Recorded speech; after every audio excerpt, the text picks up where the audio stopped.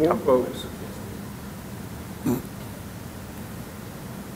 Okay, I'm going to call the meeting to order, and uh, I don't see any public here. Is there any public remotely that want to make comments? And Paxton will address your issue under other business. Not hearing any, we'll move on to trail projects update. Spring Creek Trail, which is the trail that goes from the infamous Thunder Chicken to uh, I-49 past uh, Game and Fish. What do we got? Uh, We've been working with Game and Fish on their,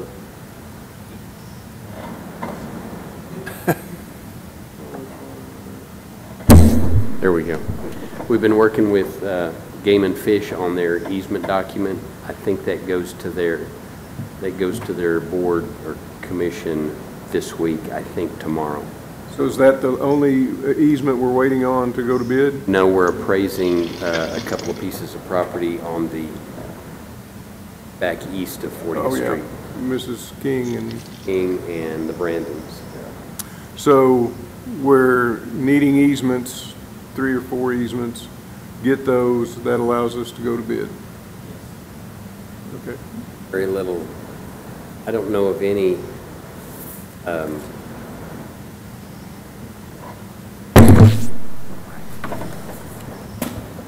I don't know of any utilities to amount to much. Uh, There'll be water and maybe some sewer right where it crosses with 40th Street, and that'll be part of our 40th Street project. But we'll actually do it whoever gets there first. And on our. Gantt chart, those of you who are remote don't have this chart, but it, it's a project by project, um, 40th of Spring Street, Spring. We're under, still under design through, this, nope, June of 20, uh, right-of-way acquisition. Ah, it's magic.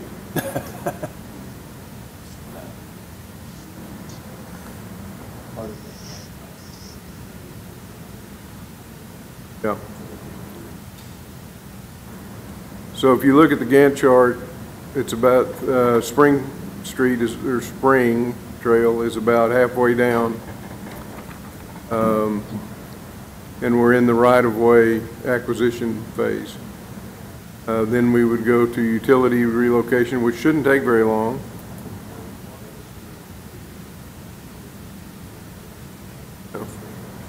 So by May of next year, by, according to, our plan is by May of next year to have that one done.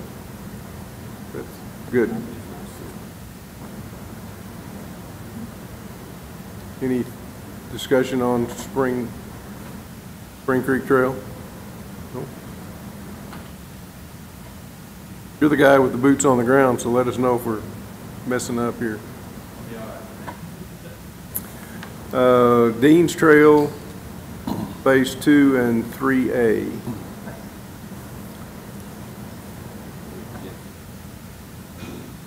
Oh, yeah. He's got a bunch of stuff for us.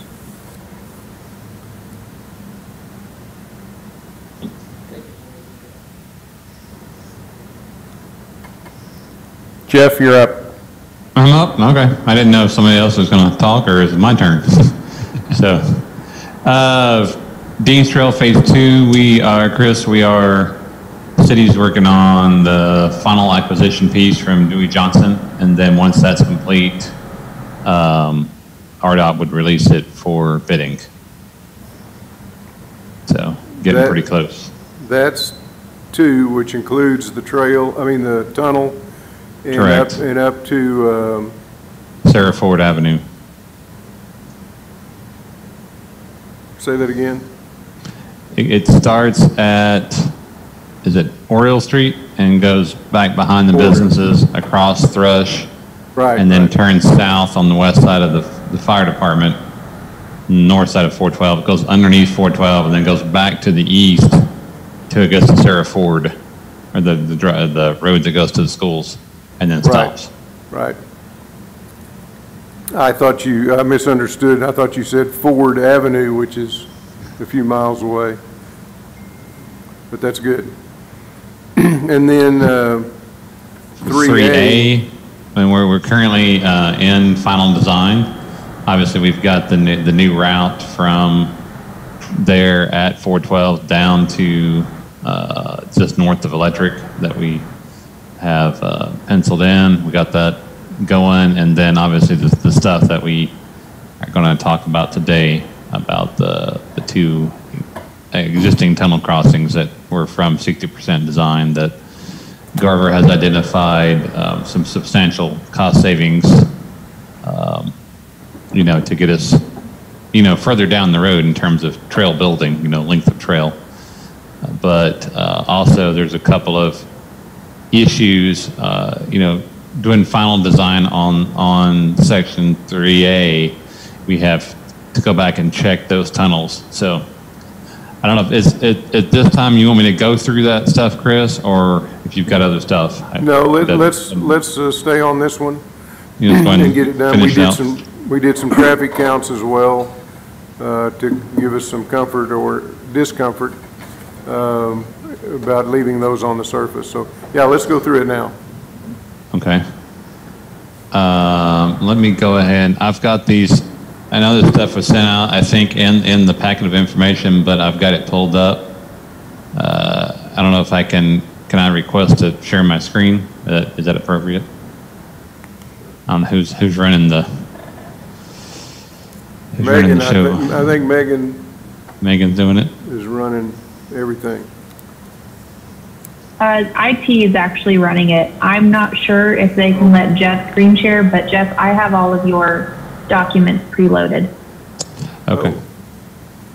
So if you can flip to, I, I think I sent three PDF files, Megan. The, It's um, not Megan, who is it?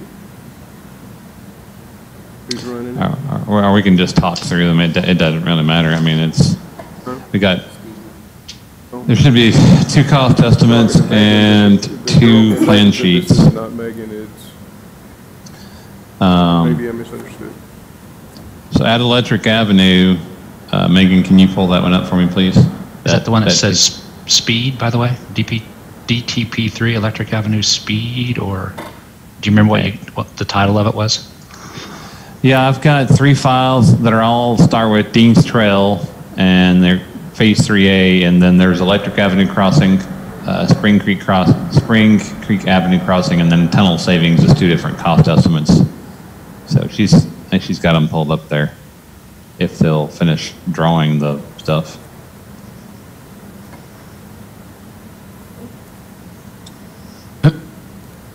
We're gonna give it There we shot. go, there we go. There we go.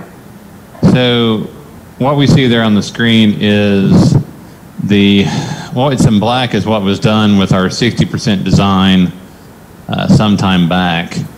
And what we're proposing here is to uh, go with a, a surface crossing on Electric Avenue with a standard, uh, it's a- that's a, what you see there is a standard City of Springdale mid-block crossing. Um, since we have three lanes on Electric Avenue, that fits really good in the middle. Those things are obviously known to slow down traffic as people approach them. Uh, we will have what's called the rectangular rapid flashing beacons. You may have seen them around town some already at some crosswalks near schools and stuff.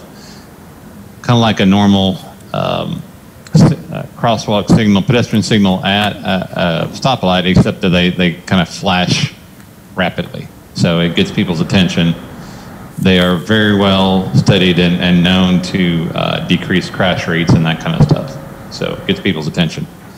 What the, the things to call out really, other than, you know, the, the cost savings from not having to deal with, there is a eight inch uh, sanitary sewer line on the left side of the street there on the north side, and there's a 12 inch water line on the south side of the road that would have to be relocated. So we'd have savings from not having to relocate those.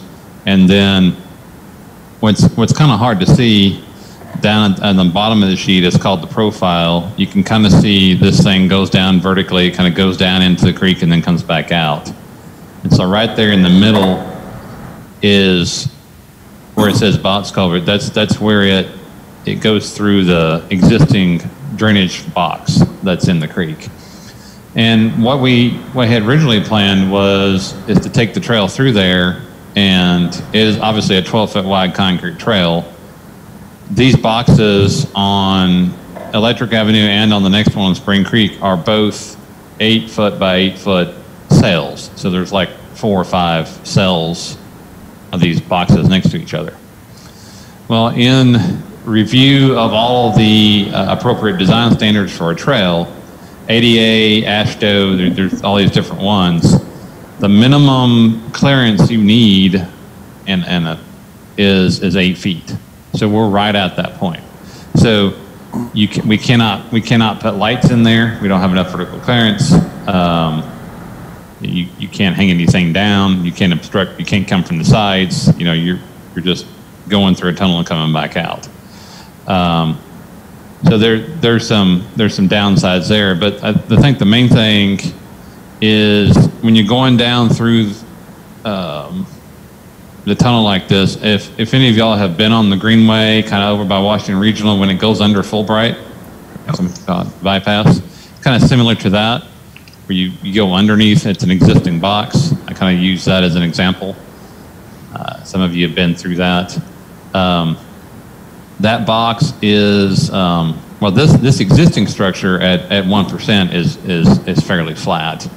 So I, I have some, I had some concerns about when you're going down in through this thing and coming back out. We, we had planned to build a barrier wall between the trail and the creek keep some of the, the lower flow, you know, out, out of the actual tunnel that the trail goes through. Um, however, you know, stuff's to get trapped in there. Obviously, I think it's Parks and Recs to keep, you know, keep that thing cleaned out. And it, it would be um, interesting to, to try to drain that, try to, you know, drain that tunnel on the downstream end. And just try to keep, you know, trash and debris out of there. So this one, I mean, it would, it would theoretically work, but um, on, when we get to Spring Creek, it absolutely won't work just because due to the, that box is laid it, it's, completely flat. It won't, the water won't drain. This one, it will at least drain to one end, but then you have the issue of just getting the water out of that trough. Uh, obviously, the, if, if this were to remain, you know, a tunnel crossing, you put up a sign that would say, you know, trail closed when underwater or whatever. But I just want to bring those up. And, you know, like I said, we, we've run for this particular crossing at Electric, going with the surface crossing with the mid-block, there, it's a potential savings of uh, $400,000. So I, I thought it was definitely worth it to bring it to the, the city's attention and, and to this, to this committee for discussion. So Megan, can you flip to the uh, Spring Creek one for me real quick? On this one, um, the projected, you know, cost savings is $520,000. So between the two, you're almost a million dollars. That's qu- quite a bit of, quite a bit of money. And if we look at, uh, I know this one's a, we'll call it the loop-de-loop. This one is uh, very similar to what is down there in Fayetteville by Washington Regional. As you come up, approach from the south, you come over and go back under type of situation. We have a, um, again, in review of this, we have an eight by eight box. It's at 0%. Uh, I am pretty much going to come out and say that it will not drain. Any, any, any water that gets in there, you're going to have a hard time getting it out of there. Um, the other thing with, with both of these box culverts, uh, a trail or, or a sidewalk generally has, you know, slope, say from the, the back of the curb to the back of the sidewalk or on, on these trails. It's, either they have cross slopes, so they have, you know, it's, it's higher on one side than the other. So water drains off of, of the trail naturally. Well, in, in these tunnels, since we're using existing structures, not only in the case of Spring Creek is it flat from end to end, it's flat from side to side. So even even on the one percent, you know, it's water gets in there, it's, it's going to move slowly from one into the other. So on this one, we have um, the two blue lines that go through the middle of the page, left to right. They are Springdale Water's uh, force mains that feed the, the south end of town. Uh, They are two 12-inch force mains. Uh, And dealing with uh, to Water on another project of mine currently on a 24-inch force main, they absolutely will not let me move the 24 at, at all. But uh, on the, on this 12, uh, I haven't had any discussions with them yet, but we would have to relocate it since coming, coming around the loop-de-loop, going back under the tunnel, we have some retaining walls since we're cutting, cutting down. So they would have to be relocated if Springdale Water would even let me relocate them. Uh, we have, the green line is a uh, sanitary sewer line running, running below that. And then we have another water line running on the south side up and down. There's obviously some other underground electrics and, and telephone lines and stuff in here as well. So we, we, we believe that, you know, the best thing to do design-wise would be to, as it's hashed in red, just come up, come up over the culvert, again, have a, a signalized crossing with these uh, rectangular flashing beacons, and then just go back down in the creek. So we would still have to extend the culverts out, but not go through them. So that's, that's it in a nutshell, Chris. I'm, I'm happy to answer any questions, um, but we would, we would like to uh, get y'all's input and be able to move forward and continue with, with design. Do you, do you know the headroom of the, uh, the big tunnel down by the hospital? No, sir, I don't. The, the size of the box that, like on phase two that we're installing is um, 12 feet wide and 10 feet tall. So we're able to put lights in the top of it and, you know, do that kind of stuff. And we're able to, we come back, we use a precast concrete box that sets it in place, so it it's speeds up construction. But we come back and we pour a, a sloping slab, so the water drains off to one side and then drains out. So it's not, you know, pulling across the, hmm. across it, so. That, we, we have headroom in, in that situation. Well, the one in, down by the hospital is, I'm not sure what it is, but it's tight. It feels un- a little bit uncomfortable when you're going through it. I understand. And if. We know- And you couldn't So put, you, you, you've got to have lights in there because you're gonna be over hundred feet under, I think, the whole thing from start down roughly. Right. And, you know, at five-thirty at night in the wintertime when people are riding their bikes, it'll be damn dark And in there. that was the biggest concern of mine, other than, you know, some of these utilities, you know, here, was one, that this box at Spring Creek is, is perfectly flat, both end to end and left to right, you know, if you're going through it. Let alone the, the fact that you can't put lights in either one of these, because, you know, I, as an engineer, can't do that. I'm not allowed to, uh, design code, you know?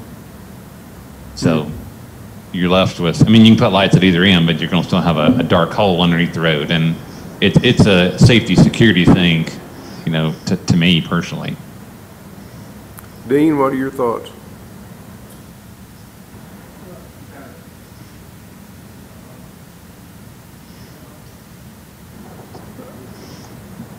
Chris, we can't hear him. Move him closer to the mic.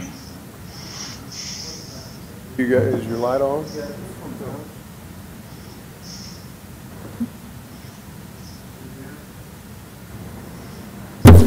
That one's, that one's better, okay. Yeah, I see, that you- well, you have uh, money savings, which is important, and you have drainage issues and lighting issues, so I get all that. I think the other side of the chart would be the safety issues with an at-grade crossing as opposed to a tunnel, which would obviously be safer, uh, avoiding bikes versus uh, vehicles. So Right. I, I think any comments related to the adequacy of the safety of of the crossing, uh, you know, would need to offset those other obviously good uh, things. So, We did it, we did traffic counts. And can you address those as well? Or who, who would, I had a hard time uh, ciphering. I can, s- I can speak to them. Okay, Um, You've got two sets, one for Electric uh, Avenue and one for Spring Creek um, Avenue. okay, mm-hmm. Um, What are you looking at first? uh, Electric Avenue um, says weekly vehicle counts. Yep, That's, that's the, got it. the counts. They did, uh, looks like one, two, three, four, five days of counts. Um, Fairly well distributed through the day. Um, The average, the average traffic would, 24-hour traffic would be 1,000 cars a day, which is right at the bottom end of our uh, high-volume local street. And if you look at the speed statistics for Electric Avenue, you'll see about 28, 29% of folks exceed the posted speed limit of 35 miles an hour. Wasn't there one, on one of these, there was one at 80 something? Uh, Yeah, on, uh, Yeah, there's one at 80, one at 75, four at 70. But yeah, there aren't many, but there's some, some folks moving way too fast. Yep. So is, is there a standard for uh, safety based on speed and traffic counts uh, for ag-grade crossing? I don't know. Uh, As far as the blinky lights and raised and this and that, all the options to make it more safe? I do not know that there's a standard for bicycles yet. That's part of that MUTCD, I think, that we're waiting for. Uh, We just, we post our speed limits based on our master street plan. Yeah, I'm, I'm not suggesting the posted speed limits are the issue. I'm just curious if, if the speed limit's 30 or 40 or 20 or whatever, and it's a two-lane or it's a three-lane situation, is there a standard uh, for bike crossings? I don't think there's a standard yet. Okay. It's pending. Paxton, can you speak to that? Aren't we still, Um, aren't we still waiting on MUTCD? Yeah, I think we're waiting on the newest NACTO guide to come out. Um, I haven't had time to dive into this issue as much as I'd like to. Um, I do know that Fayetteville is working on some crossing standards um, based upon kind of a matrix of, of when you go from one type to another. Uh, the preliminary, it's it's it's still in draft form, um, and from what I wasn't very good to be honest. Uh, so I think there's gonna it'll be it'll get better after there's feedback. Um, places like Seattle and Portland have some guidance. Um, I know that uh, you know it's very context sensitive. So example with the Spring Creek section where there's a curve coming from people headed east from when they're traveling from the west headed east. Is that correct?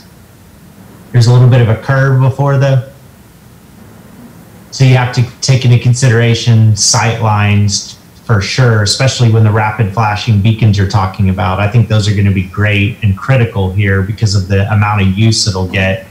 You just want to make sure that people are getting warned in plenty of time that somebody's at the crossing or is crossing. So, um, uh, but yeah, I can dive into it, but I don't think I'm going to have any good hard data today on on what is going to be used. I would I would probably most look to what we've seen in other parts of the region and the context of these streets and volumes and speeds. Clearly, there are some concerning speeds coming out of this, um, and that gets into how fast or how quickly somebody can slow down when they do see somebody in the crosswalk.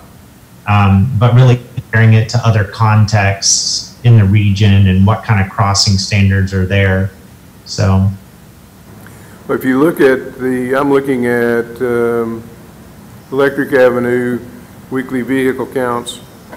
Wednesday, Thursday, Friday, of course, in the 7 to 8 o'clock hour, and then the 5 to 6 time frame. there's a lot of traffic, but on Saturday and Sunday, there's very little traffic all day long. I mean, there's times when there's no cars which would be, I think, the time when there'd be most, uh, most bike traffic. But or certainly recreational, but then if you look at Thursday, Friday, Saturday, I mean Wednesday, Thursday, Friday, there's some pretty high counts during the day, then it drops off significantly. And high counts are like two cars per hour. Yeah, um, I would say I something mean, we're two- seeing, Two cars per minute, I'm sorry. what we're seeing in other parts of the region discussions with traffic and vehicle counts right now is that we do have less traffic on the roads because of COVID. And so getting volumes and counts during this time period, we have to keep in mind that it's not a normal situation and that we're also out of school. So um, I think taking those two constraints about the busy times in the mornings and the evenings when people are recreating or going to work or school on bikes and walking is critical. Um, but from from my comparison of the volumes in other areas, I think the rapid flashing beacons that have been proposed are are great. Um, what Jeff was saying earlier, I think Bike NWA's opinion is that you know the, the the work that's been done it looks great. Our recommendation would be to make sure you've got some flashing yellow lights far enough back from the crossings to make sure if somebody if that one corner people can know ahead of time.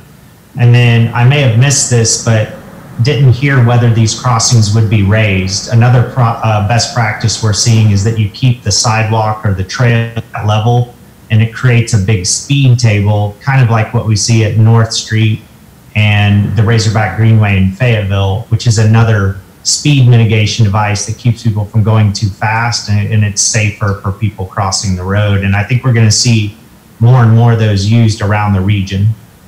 I was actually going to ask if we'd looked at uh, having speed bumps before and after the, the crossing to, to help with that, and maybe the speed table's the, the better option than the speed bump.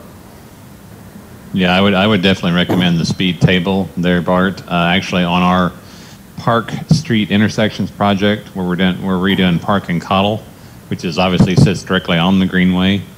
Uh, we're doing more or less a, a modified roundabout. It's actually coined a, we're, we're calling it the square about, for lack of a better term. Yeah. Sorry about. Well, that's, that's, that's, that's a Jeff Webb, right? We'll coin that later. But anyway, we, we have, obviously, we're having to essentially relocate the greenway. Is it, it's, it's more or less staying on the same trajectory, but it's, we're having to slide it over. And it's going through this little, we'll call it a tiny park that we're creating with, um, you know, a bike repair stand and a water fountain and all, you know, some of those amenities. But, you know, um, obviously we know uh, roundabouts typically are one-way traffic going in, in a particular direction, right, counterclockwise. So as the greenway crosses across each leg of that, it's obviously just one one lane wide.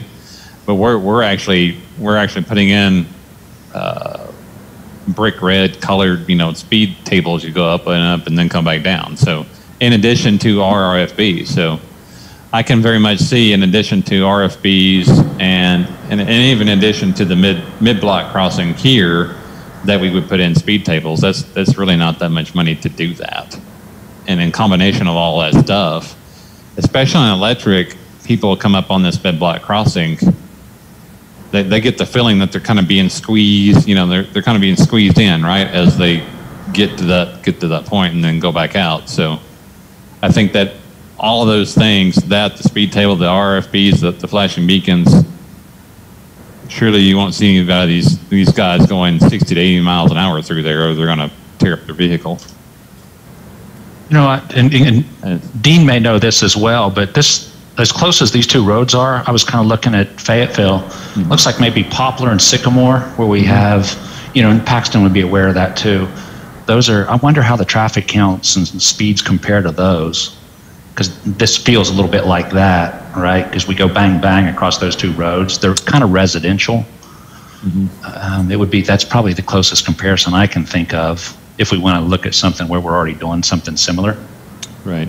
Yeah, both of those have rapid flash beacons, and um, they don't have the raised crossings like Jeff was just talking about. But had they, had, if they were to be done over again, we'd be pushing strongly for it.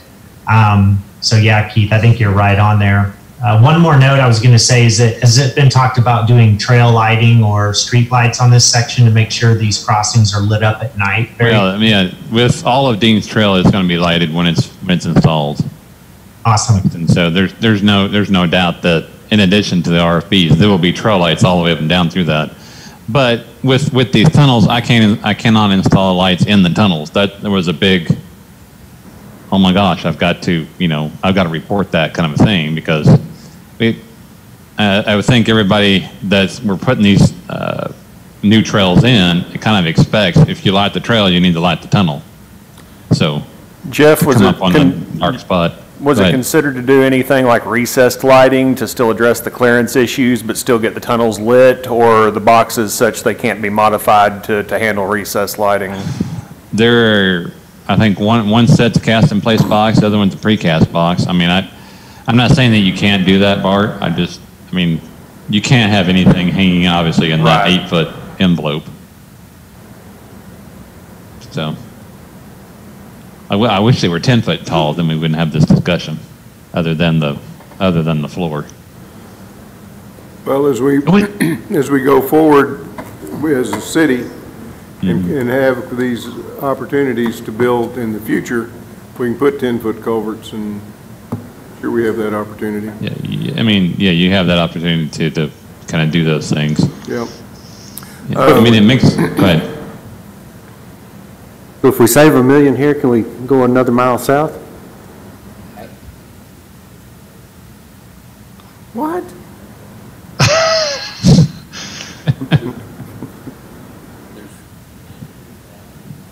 Hey, do we know the clearance of the underpass there? What's it, right at Bluff Cemetery? Um, I was trying to think of our short tunnels that we've got, you know, on the Greenway. That's obviously not a tunnel, it's, it's a road, right? But I was just wondering how tall that one is compared to the size of these culverts. I have no clue. My sense of it, as I think about riding through there, that it's probably closer to 10 feet than eight. Yeah, I think so too. I'll take a tape measure tomorrow. Report was just through there a little bit ago. Be- Be, be sure and report back to the committee. Uh, again, for reference, if, if you're riding over there by Washington Regional and you go through that really, really super long tunnel that goes under Fulbright, those are 10, that's, that's a 10 foot high box, Okay.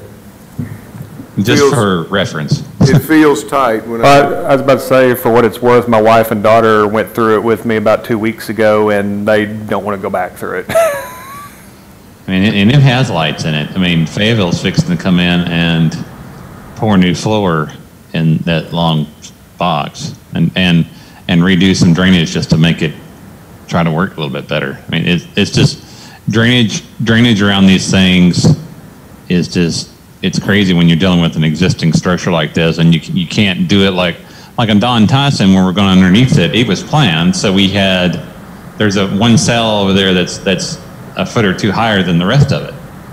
You know, and it's, it's already got lights in it and we just connect up to it and go. But that was planned to be like that.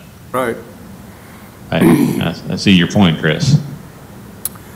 Well, I, I have a thought that we built, we, we go forward with this modification.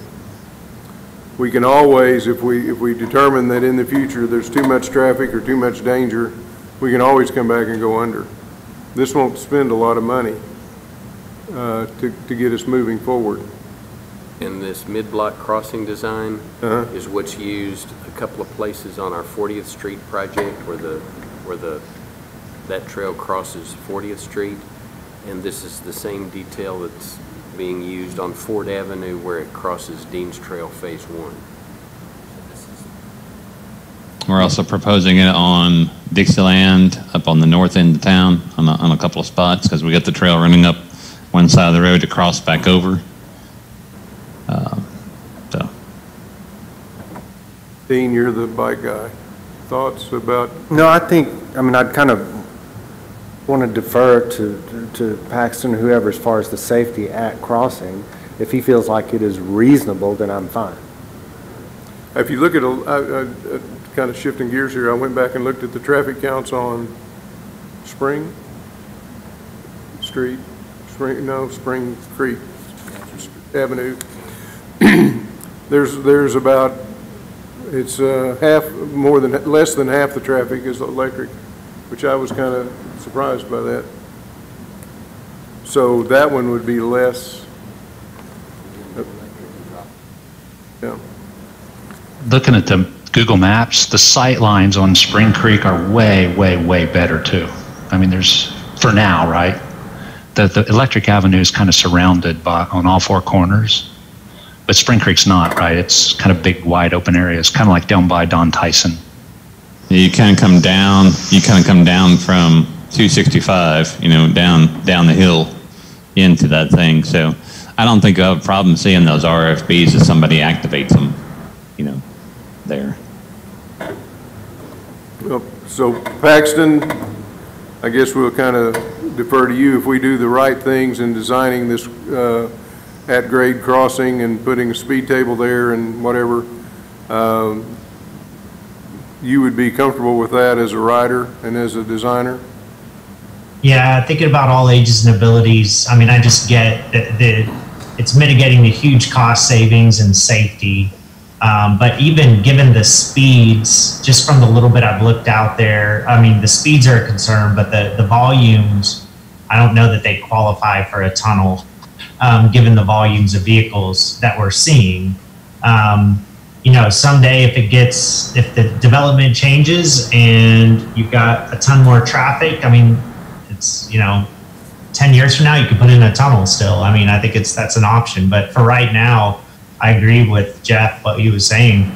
And let's just do everything we can to make it safe. Um, yeah. Thank you. The one, hey, Chris, the one other thing I see on Spring Creek is basically we have a road shift there, right? It shifts a little bit, so there's actually two curves surrounding that. From a safety perspective, some of those blinky lights, they might need to actually be moved further back into the, to the traffic lot, you know what I mean? I 'Cause moved people away gonna from be- the, moved away from, uh, away from the crossing. Exactly. and Yeah, just because, yeah, there's curves both sides coming into that, just to give the cars more warning. Keith- Keith, there, some crossings in the area do put an additional yellow signal down the road, like additional light that is kind of like a pre-warning light also, which if you pull them too far from the crossing, you're unprotecting the crossing. So I think it, it's the idea would be to put another one if there's any sort of speed or sightline issues. I was going to say, add, add additional kind of pre-warning and at the point we reduce the speed coming into the crossing. You And the do that. speed limit on Spring is 25. Right. And I, and I'm pretty conscious of speed limits around town, and I'll tell you, 25 is hard to maintain. So I would, you know, probably 30, 35 is going to be the norm. Yeah, so, anyway. Je- Jeff, on the Spring Creek one with the, the proposed, what's in red, um, we've got that parallel section along the roadway there, making that 90 if you're headed toward the, the south to cross the, the street. The, the cyclist is almost having to look over their left shoulder to see that. Is, is there any reason we couldn't straighten that out to connect up toward the top left of the, the image, or is it kind of a, a property and right-of-way issue at that point? Um, since the city pretty much owns the Clear Creek tributary, I don't know that it's a property issue. Um, Yeah, if you could come, instead of making that, going south and making the 90-degree turn, I guess I'm going north. yeah, I got to get north up on my map. Okay, so if I'm going north, I cross and take an immediate right. yep, and then curve back around. But if, if the city of Springdale owns all that, which I kind of think they, I think Water and Sewer owns it. City, the city owns all the property surrounding this crossing. I'd almost take a 45-degree angle up, uh, up to that, and that, that would help improve the, the visibility of the cyclist, to any on- oncoming traffic that would improve the safety. It would require you probably extending the box culvert a little bit further to, to get across, but you could almost put a little grass area or a little garden feature there over the, the extension that's uh, not being used between the road and the, the path.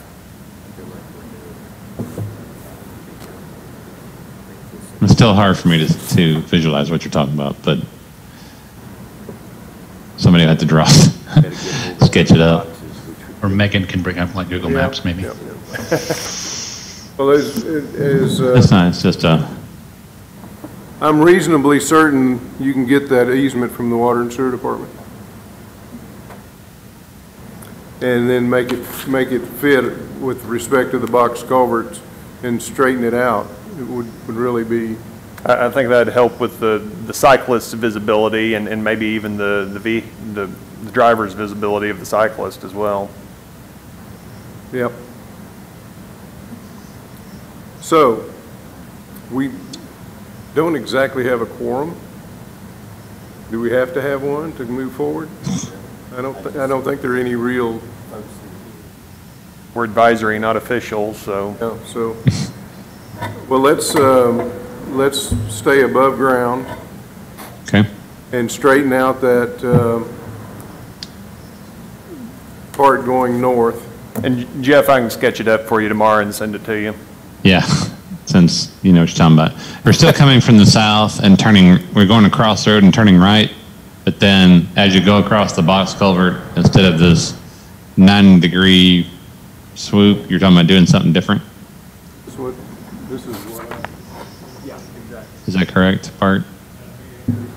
like this catch the,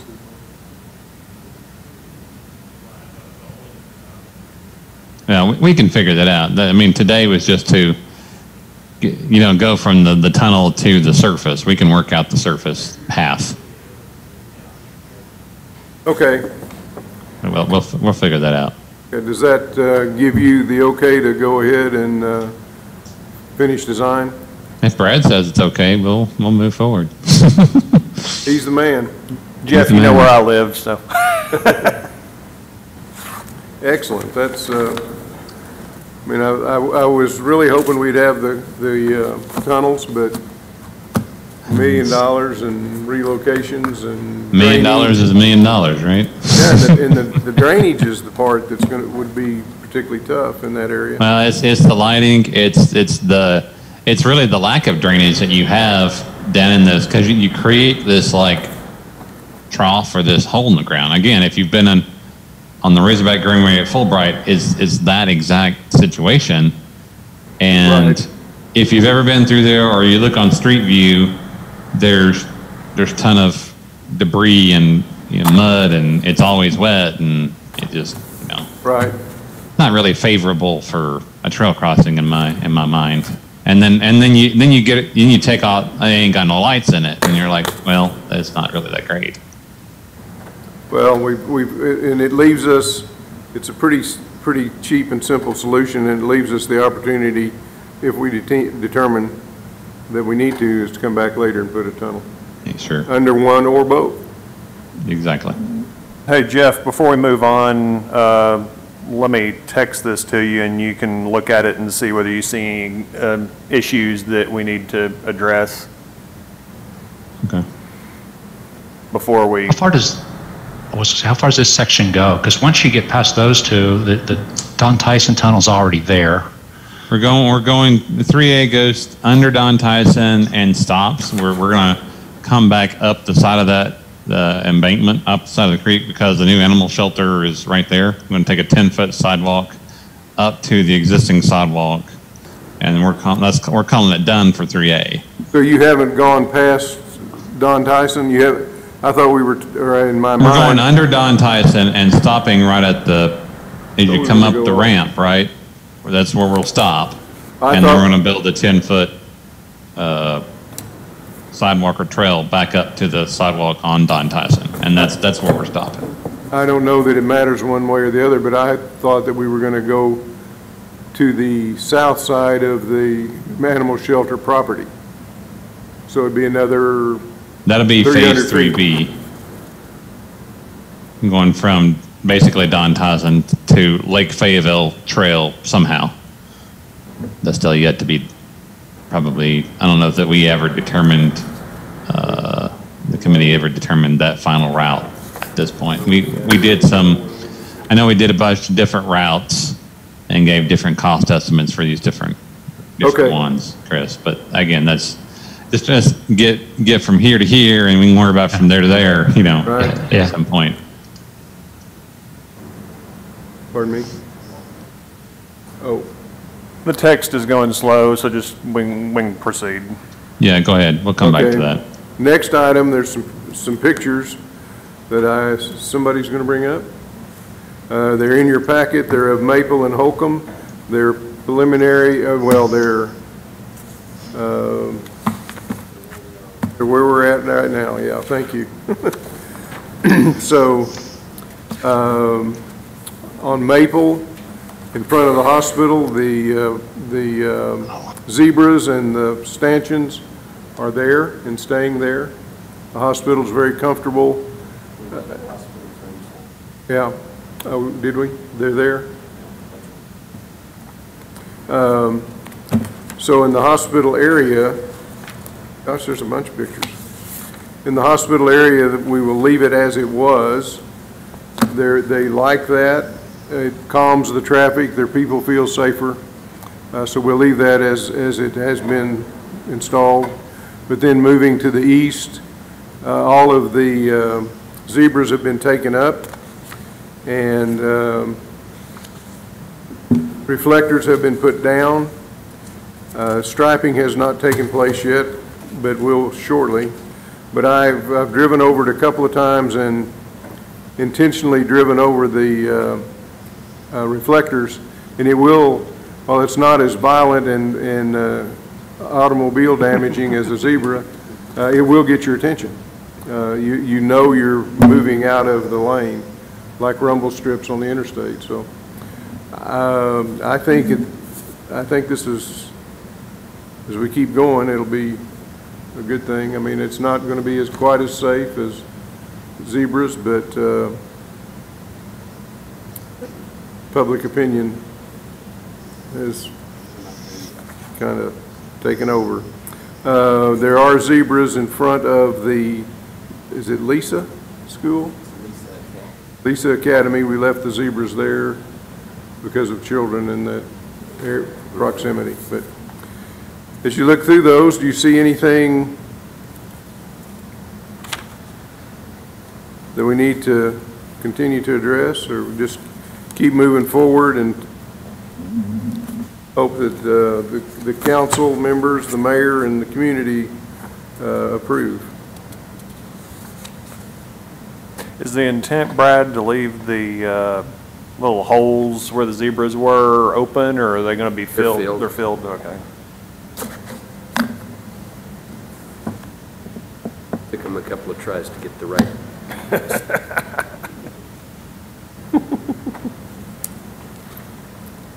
Any other comments on Maple and Holcomb? Uh, Chris, I've got just a question. Um, Brad, on the, on Holcomb, when there's, where there's the parking spaces, I was under the impression that planters or something was going to be utilized to keep people from just driving down the parking spaces down the road, which is something that we had a problem with when we first installed before we had the zebras up, um, for the parking side of that street. It's still being evaluated kind of by others. We have concrete pots. Yeah, I think they're working to see if Lisa Academy will keep them watered if we plant them. We've got, uh, if you've driven down um, Emma, the big uh, concrete pots that have flowers in them, that's what they're looking at. But Okay. It hadn't been finalized yet. Okay. Yeah, that was just one of our biggest safety concerns. Are there also reflectors in the buffer area where the, between the parking and the bike lane, or did you all put reflectors down there as well?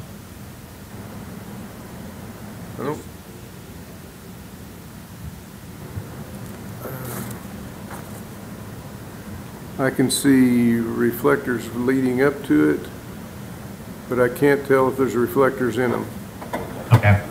Yeah, that, that would just be, if there's not, that would just be our recommendation, would be to, um, you know, put that in, especially for people parking at night or, or whatever, and just, just that extra degree of safety.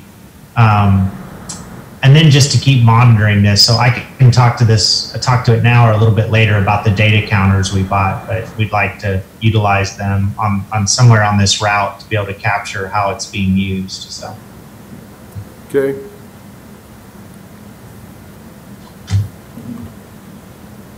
Um, Next item is project schedules and cost estimates. You will, if you were here, we have packets that have the Gantt chart, the infamous Gantt chart, that has 21 projects on it, and their current status, uh, where they, where um, they would go, this would go through January of '22, that's the longest one.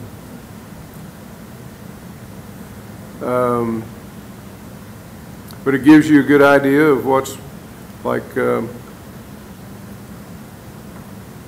that's some street projects in there as well, but they would have side paths. All the bond streets have side paths. And if you, I don't, yeah, you can see, well, the pictures of everybody is uh, obstructing the view of the uh, dollars. Uh, The far right of the Gantt chart has uh, the dollars associated, uh, the uh, project cost estimates associated with each of these projects. It's a, it's a good, good tool to have to look at, just to see where we're at. Total dollars are not on there. Next time, just put a sum all. Is there, A sheet in here that gives construction, and my understanding is that they added uh, uh, engineering and land acquisition costs to the ones on the chart.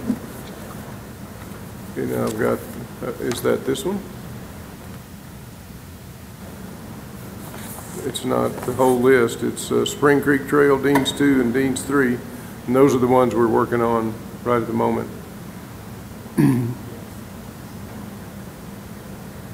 Uh, The top one was Gene George. That was that big one. I noticed that on the left. Say again? I say that, yeah, that line five, that 14 million was Gene George. What's line 16? That's a big one.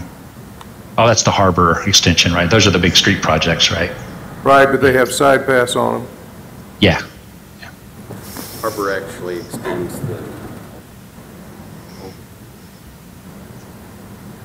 Oh, yeah, is that the, yeah. Uh, That's the one that we've been, it's what we've called the, uh, initially called the Pride of Springdale Trail, which is now an extension of Emma, a- a a connection of Emma and Har-Ber with a um, side path on it, a separate, there's a traffic bridge, and then there will be a vehicle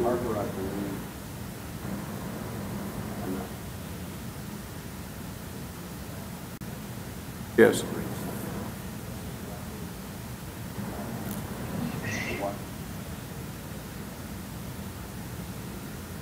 Yeah.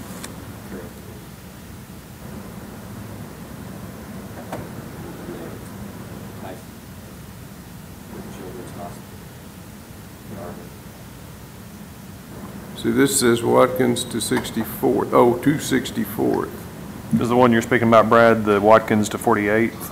yeah. That's part of, that's 2 million. The widening, uh, that's the, the, street.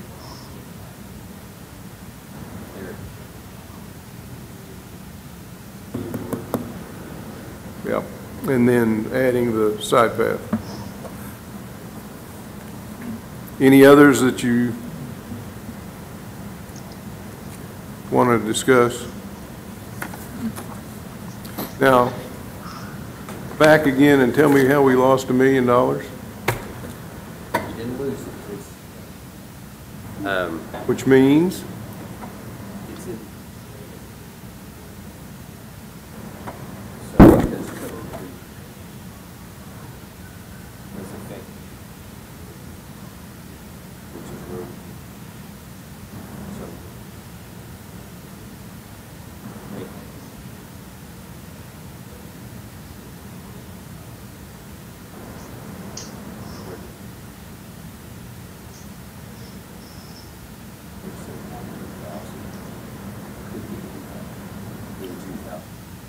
because there's no revenue sharing from the state or Fed or both. Fuel tax. So we're not necessarily losing it, it's just if we have a surplus, that money has been allocated up to 900,000? Okay, Because that's a big chunk, actually. the extra Brad, we can't hear you. extra fuel tax that goes away here in a few years if it doesn't pass. Yeah, it's on the ballot. That's, that's what's funding trails.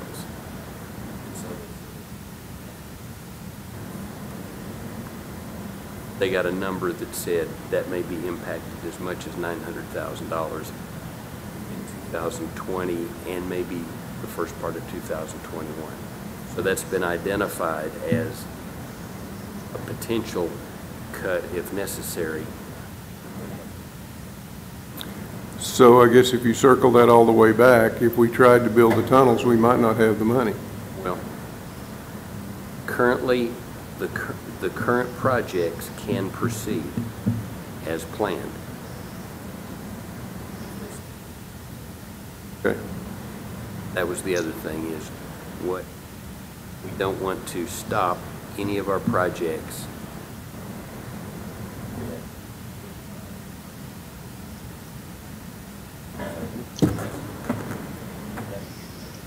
Okay. And it would not be just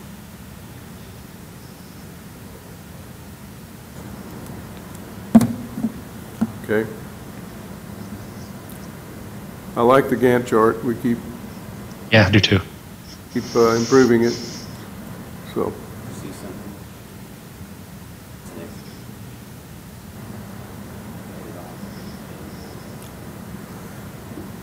Sum the total, so we can see how many dollars we're looking at, and know some of that street. And I, and if possible, and I don't know how difficult it would be, add a second column that shows how much has been spent.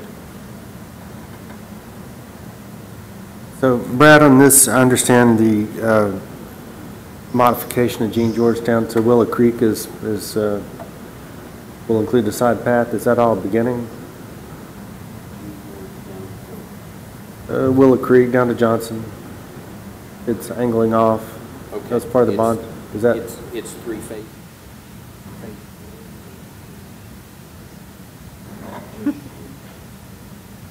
Of New Hope, okay.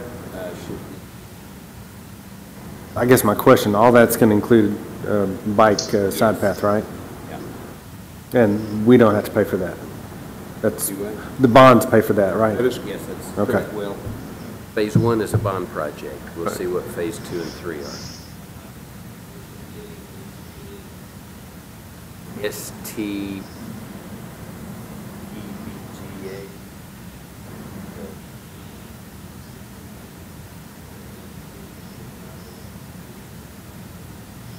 For the next section. Moving ahead with phase one. yeah. Okay. That would get us, gosh, that gets us a whole, by the time Gene George is done, to Elm Springs Road and beyond. And then on the south side, it'll go all the way to Main Street or whatever it is, when that's done. Right. But, mm-hmm. and that, so that will give us a north-south western loop, Almost. almost. You have to cut through Johnson. Yeah. Real close. But if Johnson can get their act together, they're, they have a plan to connect Yeah, Ball Street to, uh, Ball to Street there. over Right, to. correct. Which is not that big a deal, and they, that, it goes through mostly water and sewer property, and, and we'll give them the easement for that, so. Correct. Yeah, And then we'll connect on the north end, um, at roughly a wagon wheel, right?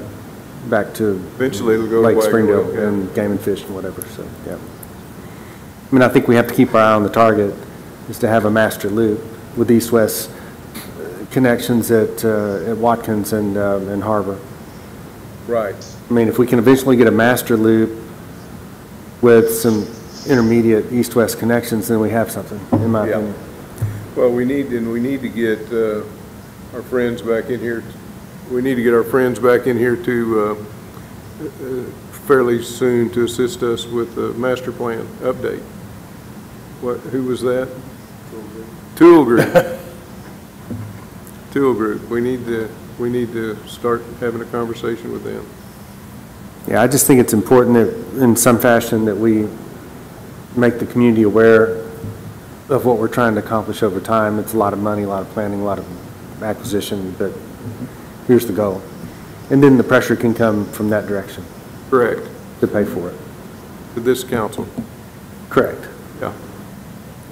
So to to that, to- it's a great question. Um, So to that end, our Spring Creek, it's just going to end right now, just past Game and Fish, right? We're not going under 49 yet. So we're, you know, in the conversation we just had and all that, you know, we'll start getting pressure to, to make that connection, right? Once we get Gene George up Elm Springs, you know, then there'll be the pressure to get up to Wagon Wheel and go ahead and connect under 49, right? That's, that'll be the gap in this loop that Dean was talking about, right? Yes, that and the, on the south end, uh small section through Johnson. But that'll be, when that's done, that'll be really uh, nice. Um, But also on the north end, where it follows the creek under 49, where, we're by Game and Fish, eventually it'll move on to the west. Um, And there's uh, 120 acres or so that's owned by the Water Department that will have, uh, that has a great um, layout for additional off-road trails. Paxton, are you aware of those? Say that again? The uh, property to the west of the interstate uh, all along Spring Street where I think a group got together, eh, uh, uh, some of the Walton group, and have looked at that property and have a, have a uh, rough layout of off-road trails, kind of like Fitzgerald Mountain. But that, That's, that's, po- that- that- that's possible. that, that's property that's owned by the Water and Sewer Commission. We've had those preliminary conversations. The neat thing about that is, once, you can go to the creek, or follow the creek uh, to the west a short distance, and then go up through a draw to a nice piece, flat piece, again, owned by the Water and Sewer Department, and it's less than a mile to the new Shaw Park. So you connect that piece together, you go from Shaw Park over to the Greenway, all the way out to the east to the Willie George Park. I mean, It's just there, there, the potential and the opportunities are almost unlimited. And I drove by the new Shaw Park and they've moved a lot of dirt. Looks like they've got some of the, maybe it might have been a bathroom already built. So they're, they're starting to move quicker on that park now. Yeah. And it'll be just kind of sitting there by itself until we get trails connected to it, right? Right. Um, Paxton, you wanted to tell us about a new counter. Uh, yeah, thank you, Chris. Uh, is it all right if I share my screen? If you know how. Okay. Paxton, you should be able to share. Okay, give me just a second. Uh, where'd it go? Uh, Do you have a 12-year-old daughter? uh, Or yes, I son? You need help? She's not here right now, though. Oh, Uh, yeah, so you're panicking. I just, I just found it. Okay, here we go. So, um, we have been looking at some beta, better data counters. Um, what kind of technology is out there? Um, the eco counter technology that is used across the region is great, but it only gives you counts of things, and it um, can distinguish between a person walking and a person riding a bike, but the use is pretty much limited to a trail or a sidewalk. Um, it's not going to be able to capture the entire street and sidewalk and trail at the same time. So um, there's there's a company called Numina, and you're looking at this picture on of, of a of a computer that mounts to a pole, and it has a video camera at the bottom of it. And so what this allows, um, what this allows to do is it uses, it taps into a power supply and it allows you to, um, let me get my mouse here if you can see that better now. Here's the camera and it mounts about 15 feet high up on a pole. Ideally, some type of light pole that already has a power source that you can tie into. And then it uh, records video. It has an arti- artificial intelligence processor on the device that takes the video and it converts it into point and line data. So as you see here in this screenshot, you get this overview, and each color represents either a bicycle, a person driving a car, a person walking. It can ca- tell the difference between a bus and a delivery van and a car. And so it really breaks down by each type of user and not only tells you the number of things, but it can tell you which way they were going. Some of the analysis that we've seen tells if people were walking in the crosswalk or outside of the crosswalk. So it's a pretty incredible technology. There's an online dashboard. What's really great about it, though, is that it uses artificial intelligence to process the video data on the computer and it's encrypted. And so what it sends to the cloud is simply the data that you see here as these lines and dots. So there's never a person's picture or license plate or anything else that's sent to the cloud. Um, the computer's encrypted. So if somebody was to steal the computer, they're still not going to be able to get um, the data off of it in terms of the raw video. So um, it really preserves privacy, but it also lets you do some counting with behavior zones, heat maps, figuring out exactly where people are walking on the trail or the road. Um, we've even heard some cities have used it to count the number of trash bags left out on the sidewalk. So um, we purchased four of these counters. My intent was to have one that we could demo in each of the cities. We've also paid for the monthly cell phone data fee that it basically sends the data to the cloud. It's about $125 a month. And um, where we've, we've got the computer is sitting in my house and um, we're looking at, would love to partner with the city of Springdale to install this somewhere. Um, ideally, either on Maple or Holcomb, so that we could get some better data about who's using it in terms of how much it's being used and what are the modes.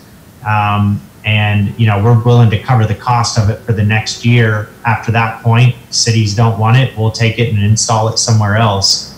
Um, it's pretty quick install. I'm actually getting ready to help the city of uh, Fayetteville's bike ped coordinator to install one on our slow streets route off Dickson Street this weekend. And then uh, the Parks Department in Bentonville is going to install one as well downtown on A Street to uh, to start testing it and seeing what it can do. So um, I would love, you know, just put that out there to the trail committee that um, we'd love to partner with the city and and try to find a place somewhere on Maple or Holcomb to install this and uh, let the city demo it for you know the next year. Brad's shaking his head yes, said it sounded good, so I would uh, pass that buck to Brad, who will pass it to somebody. All right. Well, you just let us know if and when you're ready, and we'll we'll we'll work with you on the next step. So Okay, I, I think we're ready, so, okay, I'll follow up with Brad then. Um, okay. Yeah. That'd be Thank good. Took- You know, the thing I thought about, and it would be a little bit expensive uh, for this, but, you know, we've done the, the head counts, uh, volunteers counting uh, people going by on the trails to get an, uh, an estimate of the usage of the trails. And you got to chase people down or stop them when they fly by or whatever. It'd be, be a good indicator of, uh, give you a good idea of the counts uh, that are going by, you wouldn't know whether they're going to work or going to, for- to dinner or whatever, but it'd be a little expensive for that operation. Yeah, we, we are, just as a note, um, uh, Trail, Northwest Arkansas Trailblazers and ourselves have also been looking into other counting technologies.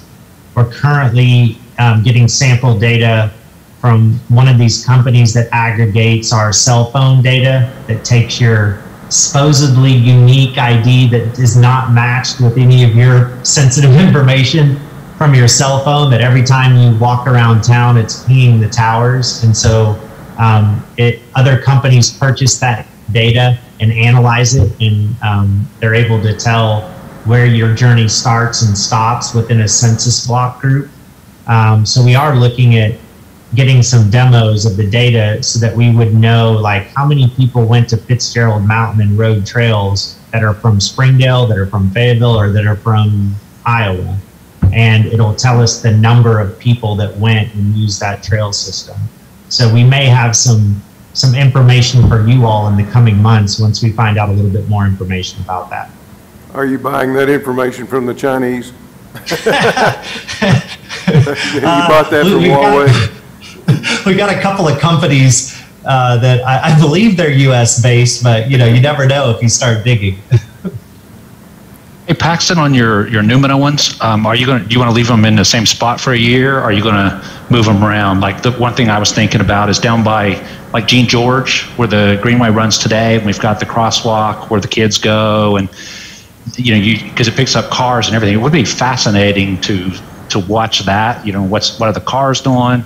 Uh, the bikes, uh, bike um, guilty will jump off the trail, get on the road to zip through that intersection. I was, that's why I was just thinking, you know, there's there's some interesting areas throughout that we might look at as well. I just didn't know if you wanted to leave it in one spot for a year or. I mean, I'm, open to that. It costs us uh, $600 every time we want to move this thing. So, um, but we've got a little bit of budget in there. Um, ideally, we'd have it in place in Maple or Holcomb for say the next six months. That way, we could just get some idea of, of of how it's being used. I mean, we'll be able to tell if cars are driving down the bike lanes, I believe. So that can help us really understand the behavior. But absolutely, it's up to you all. I think moving it around um, after that to some locations to help you all answer some questions you have, uh, we're willing to partner with you on that. And, if, you know, I- I'm pretty sure we can come up with the money to install it at least a couple of times over the next year.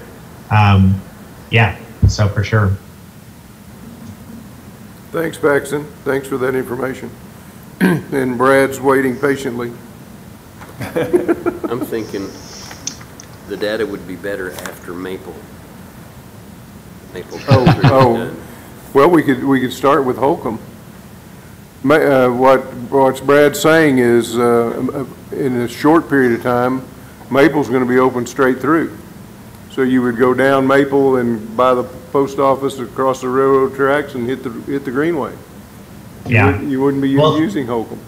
It, it does. There's a there's a field of view, so it may be that we could get it like somewhere in the corner of Maple and Holcomb and be able to tell which way people are going and where they're coming from. Also, so we just have to kind of look at what poles, what light poles are in there in in in that area. Okay.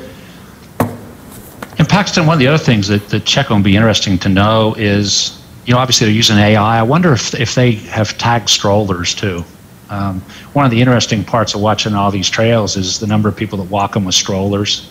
Because, you know, we're used to cyclists and runners, but in some areas, especially down through, through that part of Springdale and some of the other areas, we have a lot of, you know, moms and dads that walk kids to school. And that'd be a fascinating piece of data to see too.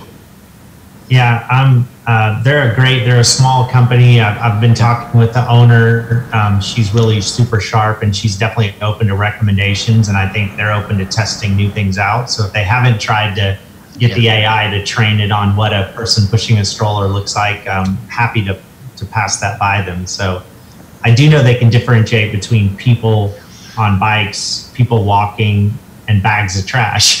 so that's Yeah. What Um, about dogs? People walking their dogs?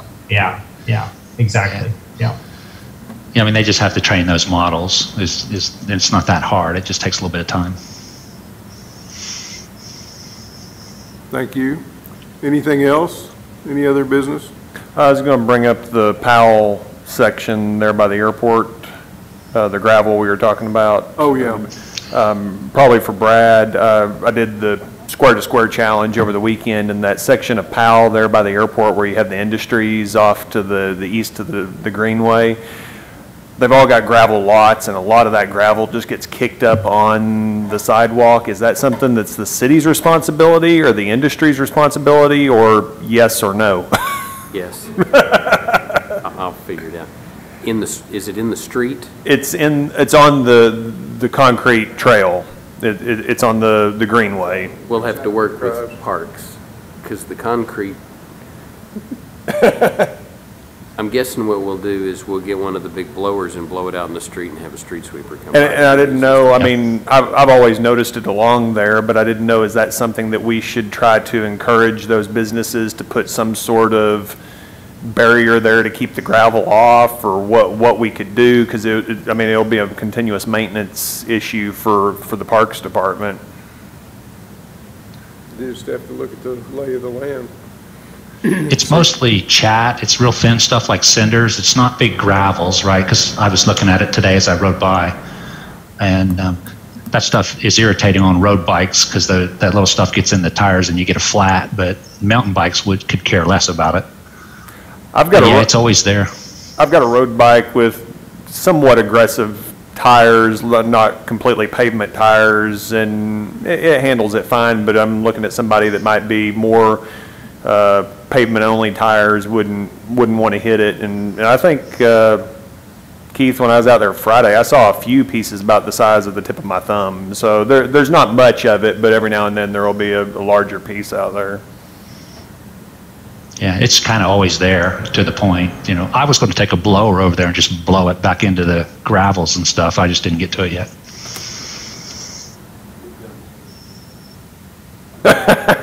Brad says he's got a blower that'll take care of it.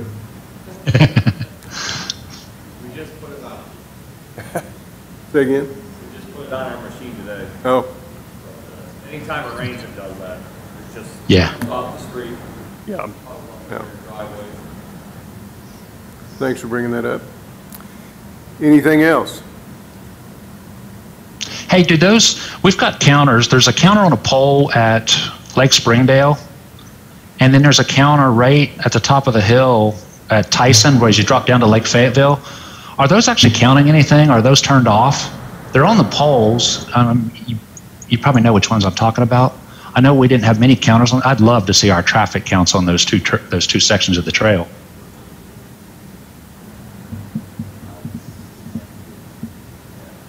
Okay, if, I'm sure you didn't hear Brad. Yeah, we didn't. We haven't heard a thing Brad said the whole time. He's gonna have, he's gonna uh, get Steve Hatfield, they've been monitoring that for some time, so he's gonna try to get the data from Steve Hatfield. Okay, yeah, that was all. I just thought, as I passed that today, I was thinking about that again. Okay? Okay. Thanks, everybody, for joining. Got think, good discussion. We got some good things happening. See you next month. Great job, Chris. Yeah. And Megan. Hey, I got a uh, text back from Jeff. He said that alignment may be feasible. He's going to sketch it up. He said he might actually recommend adding a separate box culvert rather than extending that one to that. So he, he said he'd look into it. Yeah.